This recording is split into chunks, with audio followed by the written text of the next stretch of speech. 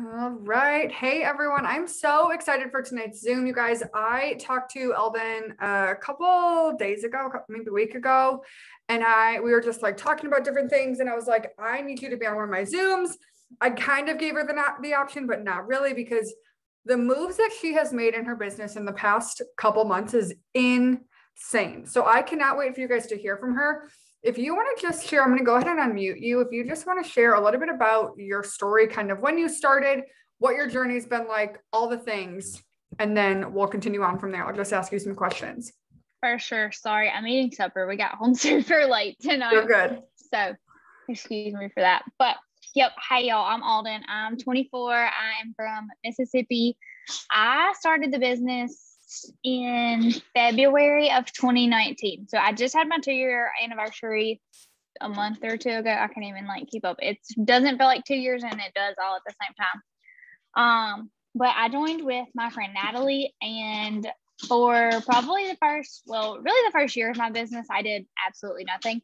Um, like I joined with her in February and I had just graduated college in December and I was not teaching yet but I started covering a maternity a maternity leave for somebody in like the end of February. And that was when I joined with her. And so like I I did a little bit, but not a lot. And then summertime came around and I was like, okay, I can do this. And so that's when I started and I did make a little bit of money. And then in August of that year, I started my first full-time teaching position, teaching kindergarten, and it was just way more than I ever anticipated.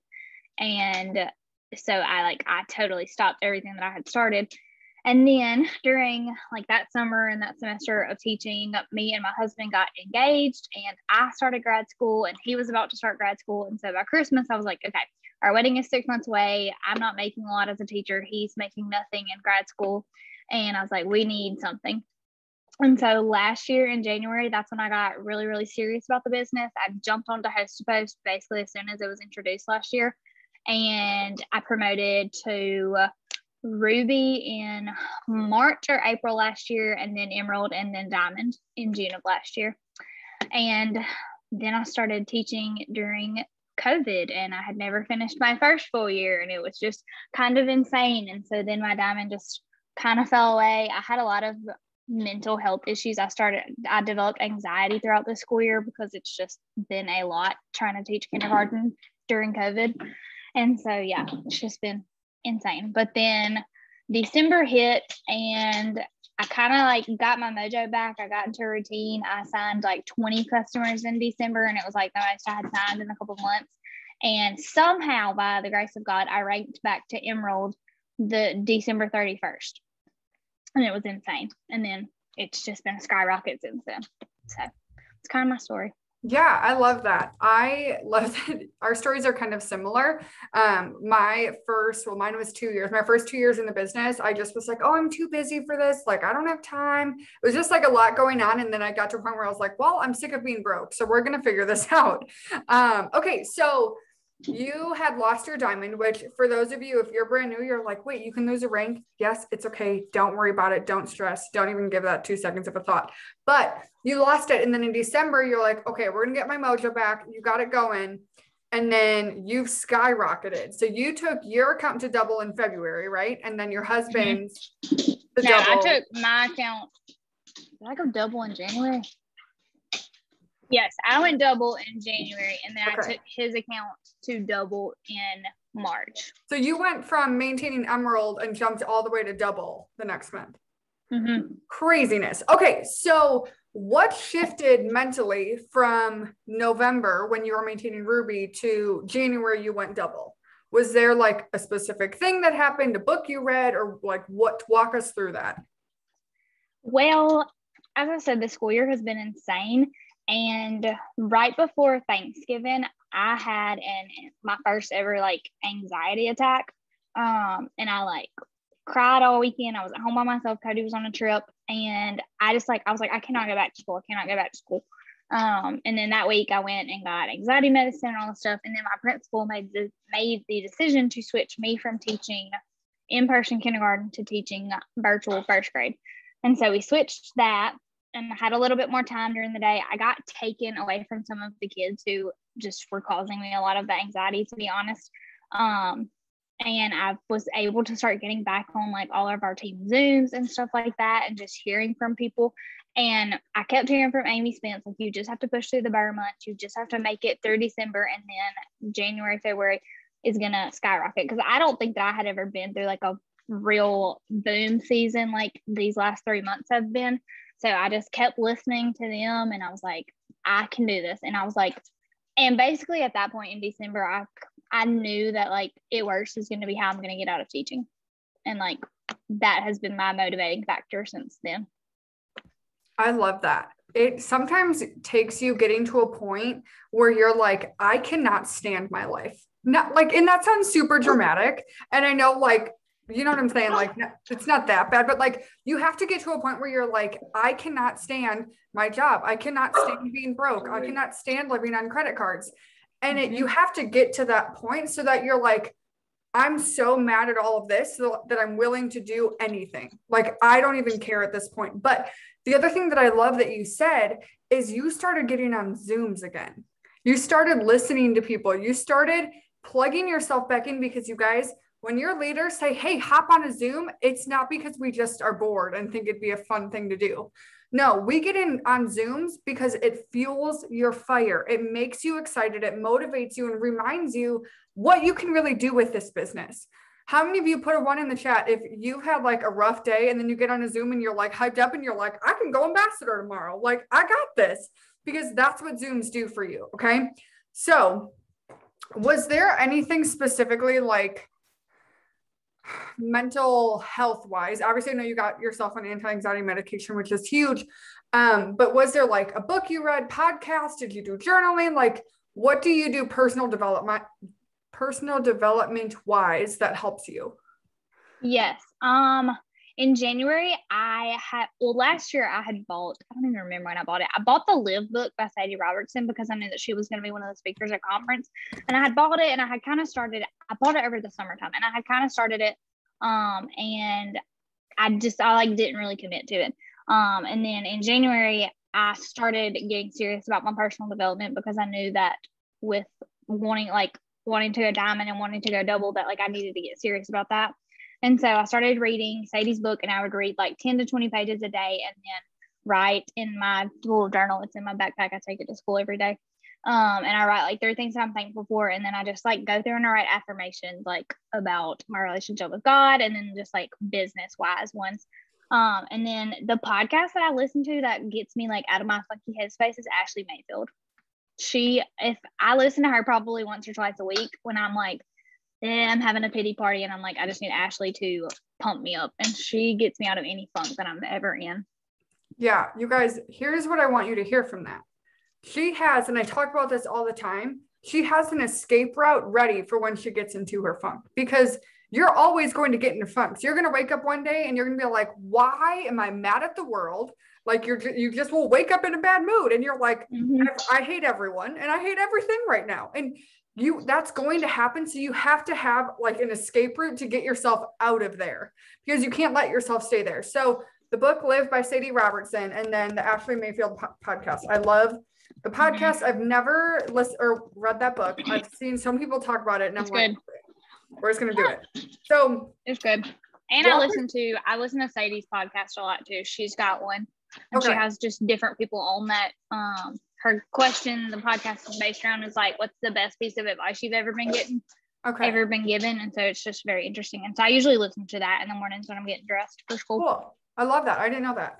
Um so walk us through your average day because sometimes it's really hard for me to talk to our team because i'm like i haven't had a full-time job in like almost three years now. So i'm like i can't i don't know. I can't imagine working nine to five again. So walk us through your day and kind of how you still get your whole list done, even though you work full time. Mm-hmm. Um, I try to get up by 5:45, but I really don't like mornings. But I'm trying to change that. I literally write down that I'm a morning person and I can jump out of bed and be excited for the mornings. My husband's laughing because he knows that it's a real struggle for me. But I try to get up by 5:45, and then I'm getting dressed, getting ready for school. Um, and I drive 30 minutes to school, so I have to leave my house at like 6:35. Um, and I get a post up before I leave the house. I put myself on stories Um, I take the energy sticks on a daily basis and I put myself on stories taking my energy stick and then like a quote or something just so I'm on stories at least in the morning time because I can't post anything on there, you know, during the day from 7 30 to 3 basically. Um, so I do that and then I get to school and I virtually teach from 8 to 11 30 to first graders, but we take a break like we we like are on there for an hour and then we take a 10 minute break because I'm like them and I can't just sit there and stare at the computer and just keep being there for that long. So we get up and take a break and I go into my building at school. We're kind of like in our own little building and I have a bathroom down there in my honor. So I like go into the bathroom and I take my phone in there and I'm in there for like basically eight of those 10 minutes for our break and I send out messages when I'm doing that. So I usually get about 20, 25 minutes done during that time too. And I'm just messaging for host to post, catching up on messages from the night before, stuff like that. Um, and then, so I get done virtually teaching my whole group at 1130 and then I eat lunch and then I get back on with like my small groups and stuff from 1230 to usually like 115 or so. And then after that, after that, all the other kids who are at school, they're getting called out, they're going home and stuff. And then we usually have like faculty meetings and stuff at two. So I'll usually work a little bit between 115 to two. So that's kind of that is something that helps skyrocket my business is I found these little pockets of time at school where I could work because I'm not I don't have children children physically present with me. So there's a little bit more wiggle room like that. But I'm not like posting on Facebook myself. I'm getting host to post up and like getting messages out and stuff. Um and then our school day ends at 310. I usually sit at school for like 20 to 30 minutes and get a post up after school um, and put myself on stories like talking about my day, something my kids said, something that happened at school, all that kind of stuff. And then I come home. I will say we get home at different times every day. My husband's in grad school right now too, so his school year is not as busy, but his summertime is always very busy. So, um, I will say, so I get home, we cook supper, eat supper together and stuff. And then if I have anything left, I finish up my list then and usually get on a Zoom every night.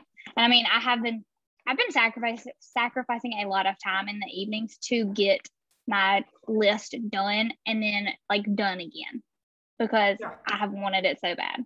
Okay, I want to stop you because I love that. I love that. So here's two things that I want you guys to hear. Okay, that you can apply to anywhere you work, work full time. She found pockets of time throughout her ta- her day that she can get stuff done. Okay, not hours, not 45 minutes, I'm talking if you're t- telling your boss, hey, I'm going to go pee. Okay. As you're walking to the bathroom, send out host to post messages. As you're peeing, send out host to post messages. Like you can get up, if you get a system, you can get 20 to 30 messages out in a matter of like two minutes. Like no joke. So that's board and boards are your best friend. Yes. Seriously. So find those pockets of time. And instead of y'all are on your phone anyways, instead of scrolling, be super intentional with it. Okay. And the second thing that she said that I love that you talked about this because some people hate this word, but it's so true is she sacrificed some time at night to get her list done and then do it again.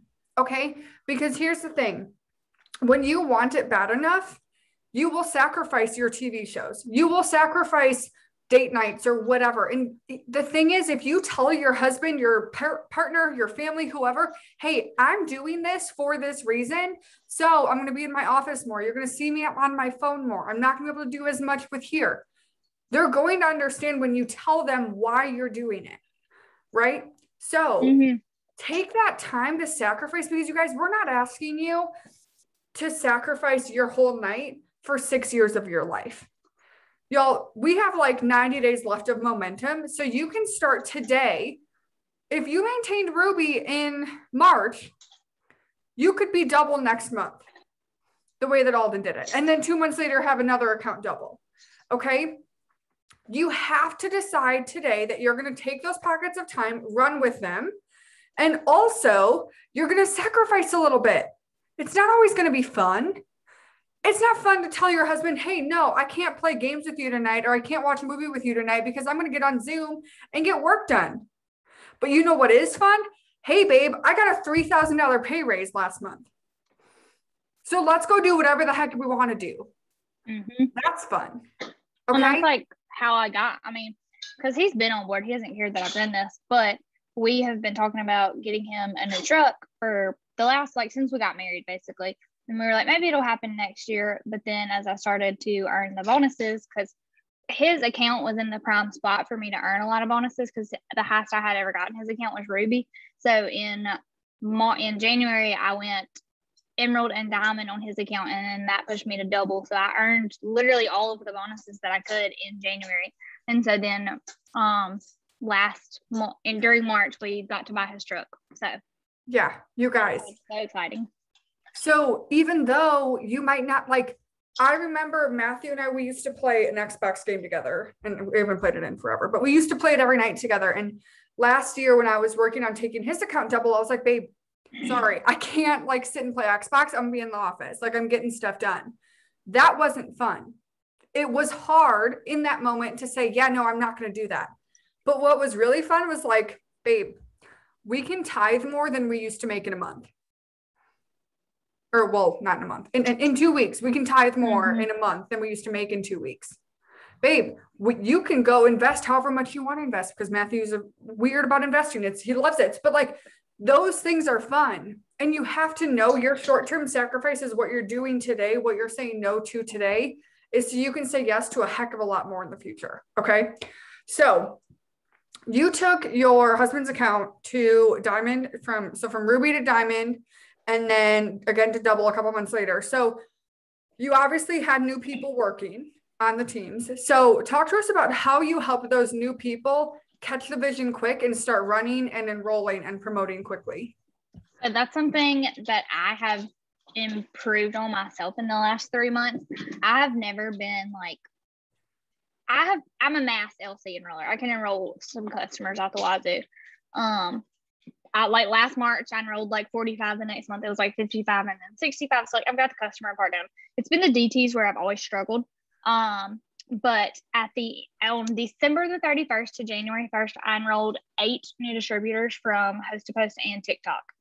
Um, and I've got about four of them who are still around working right now. And then I did it again the next month. I enrolled like eight or nine new people. And then I did it again in March. I enrolled like eight or nine new people.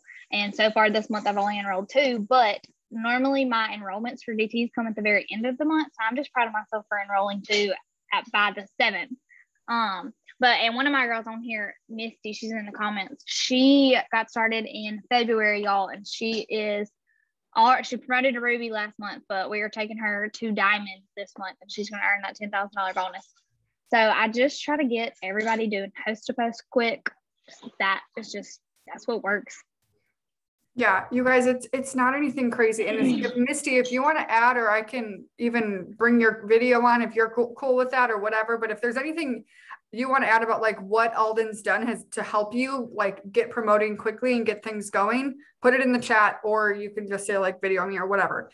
But so you said you went from struggling signing DTs to signing like eight a month. Okay. So you said mm-hmm. TikTok, which we all have to like get over it. Like TikTok is terrifying all the time. Oh my God, Misty, you are cracking me up. You're she said I'm in she bath. Is, Please she's don't like turn my eight or nine on. weeks out from having her baby boy. So Oh my gosh. Just type it. I don't I won't make your video going. Um, but so we all have to get over TikTok, right? Okay, so if you want to do TikTok, great but you sign them through host to post. So walk us through a little bit about that because I know there are some people on this Zoom that are kind of in their head about signing distributors. They're like, I've never been a mass distributor enroller. Like I've never been one to sign a lot of people. And it's so hard because for me, it, I went through this like three years ago because I went from not signing distributors to being like, well, I got to sign distributors. And ever since then, distributors have been pretty simple for me. But I will tell you this before Alden gets into kind of what she has been doing with Host Post, you guys. You're never going to be a mass distributor enroller until one month you are because you decided you were going to be. Okay. No one is born the day they join the business as a mass distributor enroller. Okay. They just one day get to a point where they're like, we're just going to sign a lot of distributors. I don't know where they're going to come from. I don't know how it's going to happen. I don't even know how I'm going to train them, but we're going to figure it out. So it's just don't feel like you have to be this a certain rank or a certain type of person or whatever to mass enroll. It's just a mindset and just deciding to do it. So talk to us about how you enroll distributors through host to post. Um, well, Misty came from a host to post. I had a girl literally put up an opportunity host to post, and I don't even, Misty, I don't even know if you commented on it. I do one where I put my phone number in it, like text info, and she texted me. And I mean, I think we talked for like 20 or 30 minutes, and she was signed up and ready to go. And now, obviously, not everybody is that easy. But in March, when we had the $20 codes come up, I signed basically I, I wound up signing 12 at the end of March because I signed like three on the last day of the month, but I signed nine with the $20 codes. Um, and all of those came from people who had literally all of those came from Facebook. It was people who had done a host to post for me. It was people who I had just randomly asked about doing the business with me um, and stuff like that. And I still like, even today, I had a pity party for myself about signing DTs. I was like, I can't do it, blah, blah, blah. Um, but like then I listened to some stuff. I zoomed with um Ali Antonacci this afternoon and she was like, You can do it. You've been doing it. You're fine. I was like, You're right, I am. And so like it's just something that I mean, it's something you have to work through every single day. Like you just have to decide to ask the people. Like a lot of people are not gonna come to you and ask. They're just not. Yeah. And it, it really just comes down to it, you guys. Like you just have to decide that you're going to sign a lot of people and then just like be willing to do all the things. So ask people who did host to post for you. Put it two in the chat if you consistently ask every single person who does host to post for you if they want to join your team. I bet 99% of you will not be able to honestly type two. Alden and I can, but that's why we sign six, seven, eight plus distributors a month. Okay. It's not because we're magical unicorns with a magical script. It's because we talk to a heck of a lot of people, right? And we get told no a lot and we get ignored a lot. We get blocked sometimes. Like it is what it is. Mm, yeah. It happens. So, okay. So we talk to ask people who do host a post. Okay. We ask random people. Some people are afraid of that. Okay, here, let's do a different thing to make everyone interact. Put a three in the chat if this business has given you anything positive in any way, shape, or form. Friendships, freedom, fun, hope, money, confidence, weight loss, confidence, wh- yeah, growing your faith, whatever, right? Almost every single person, probably everyone, has gotten something. Mm-hmm. So why are you afraid to offer this business to someone? Because they're going to tell you you're scamming people. Okay, well, you've gotten a paycheck and you've gotten things from it. So it's not a scam. Okay, I'm going to read what Misty wrote because she's in the bath. We're not going to make her show her boobies up to the world. Um, so Misty said, I'm honestly still working on getting all my host to post down but I'm working on it. When I do get them up, I always make sure to send them the message. Um, yay, make sure you keep it up until the drawing because we verify once the winners are drawn. Thanks again for posting for me. I marked you down for the giveaway, but I have to ask, have you ever thought about working from social media like me? What you did for me is literally what I do daily. She said, I've gotten several distributors that way and always, always being consistent. People always message me out of the blue and say, Hey, I've seen you posting about this. I'd like to order it. People are always watching, even if you don't get comments on all your posts. You guys, that is so true. Two things. One, what we just talked about ask everyone to join your team. What's the worst they're going to say? No. Okay, well, then you're still in the same spot that you were before. And second, be super consistent. I had someone message me yesterday. She ordered uh, four or five products. I haven't talked to her since October of 2019. Mm-hmm. she messaged me and she goes, Hey, I'm ready to get that coffee now. What? I followed up with this girl like literally 11 times. I literally, y'all, I, don't listen, this might make you guys feel better. I had just unfriended her because I was like, clearly this girl is not, she's she doesn't want it. Then she messaged me even though we weren't still friends. So don't be afraid of unfriending people. It's okay. So I love that. Okay, so last thing. Do you have any advice for someone who has been at Ruby or maybe they're like they've been at Ruby, they're at distributor, they're kind of ready just for that jump. Like they're ready to just make that move where they're just like explode like you did. What advice do you have for them? You have to figure out what your why is. Um last last year I kind of knew what my why was. Like I just wanted to make some extra money because we were getting married. Um and it and like that was my why and it worked and I promoted and stuff. But then over the summer and like when I started teaching, I lost my why. Like I didn't know I was still like doing the tasks and doing my lists and stuff, but it it was kind of just more going through the motion of like, oh, I'm just I just have to get this done. Like I still signed customers. Um, I wasn't really signing any DTs then. Um, but then it finally it got to that point where I was like, I just I don't want to teach. Like I just I want to break from it. I need to do something different. And my why has been so strong since then that I don't I will do anything it takes. I hate TikTok, y'all. My TikToks get five views. Like hate it. But uh, usually once a week I get one or two new applications from it. So it's like I have to remind myself that even if five to a hundred people watch it, that's a hundred new people who aren't on my Facebook that are watching it. You know, so you got to get comfortable being uncomfortable. I love that. Sorry, I was muted and then I realized that I was muted. I love that. You guys, you're never going to promote if you're not willing to push yourself. Okay. Like you're never just going to wake up one day and be like, oh my God, I went double diamond. Like it just happened. I don't even know. That's not no. going to happen. It's going to take hard work. It's going to take days where you're crying because you're like, what the heck is going on? Can I even do this? It's going to take days where you push yourself to do things that you don't want to do. And honestly, the thing that you're avoiding is probably the thing that's keeping you from where you want to go. Yeah. So for me, for the longest time, it was following up. I hated following up. Okay. Still, I'm not a fan of it, but I do it now consistently. But I hated it. I hated it. I was like, I'll just talk to someone new. Well, interesting enough, when I started following up with people, my customer enrollment skyrocketed. Okay. So the thing that you're avoiding is what you need to be doing. So just know that and know that there is nothing in Alden, don't take offense to this. There's nothing special about Alden that you guys don't have. Okay. Like it's not like she's a magical unicorn with magical scripts, with magical everything and a magical team that everybody she signed works. And every customer she signed was 300 BV. Like that's not what happened. She just decided that she was going to get it done. And she was. Y'all, I signed a girl. Sorry. No, you're good y'all, I signed a girl yesterday. We got started. She made a post last night. She started in host post this morning, and basically like an hour after she put up the host post, she's like, "I don't think this is for me. I don't, I'm not sure." And like she hasn't talked to me since. And like I cried about it, y'all. I sat in my classroom and I cried for about ten minutes, and then I was like, "Okay, we're just gonna move on to the next," because like, like Allie told me later this afternoon, she was like, "It's a deck of cards." And you gotta, you're gonna find some duds before you find your aces. Yeah. Okay. Yeah. And you're going to find some people that are like half in and half out, and you're like, mm-hmm. okay, mm-hmm. all right. And then you're going to find people that are like, oh, shoot, like, like you're Misty. just going. Yeah. Mm-hmm. So just know that. Don't let yourself get discouraged with one little thing that happens today or one little thing that happened yesterday.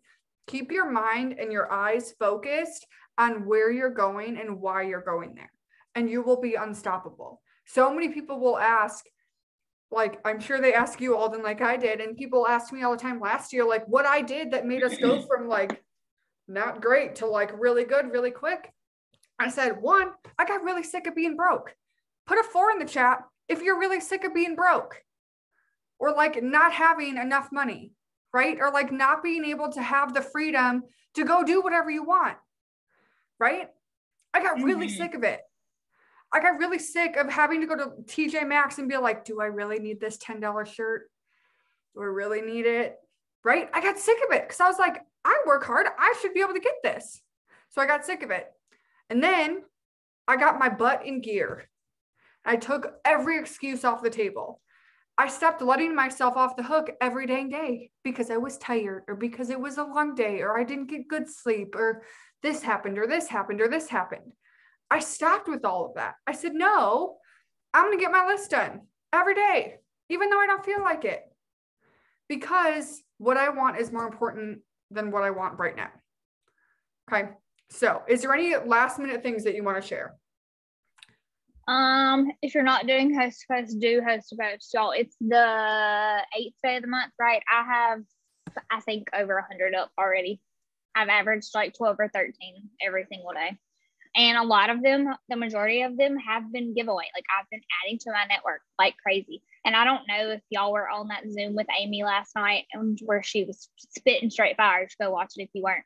Um, but but like I have been I've been talking to Amy a lot because her husband's account is in the same spot where I am. So we've just been talking a lot about things that we're doing and stuff. And she told me that like I was gonna have to consistently enroll these DTs and get new people in my network. But what she said last night about adding the new friends and then putting your face on your on your Facebook page, not just a colored background, a colored background, a colored background. I have been more intentional about that this week and like put pictures of me and me and my husband. And then yesterday I put up a hair post and I signed two customers from my actual post.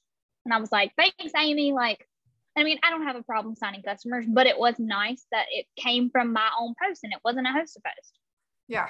You guys, your page is so, so, so important. So, if, like, so important. If you haven't watched the Zoom Amy did last night, she was in a mood, not in a bad mood, but she was like getting it. Like she was in your face. So if you need a Zoom that's in your face, go watch that one. But you guys, this is all a matter of a decision. One, how bad do you want it? Okay. That's an honest question. You need to ask yourself, am I willing to do more than I've ever done before? Am I willing to say no to things that I don't really want to say no to, but I'm going to anyways? Okay. How bad do you want it? Second, do you truly know what you're working for?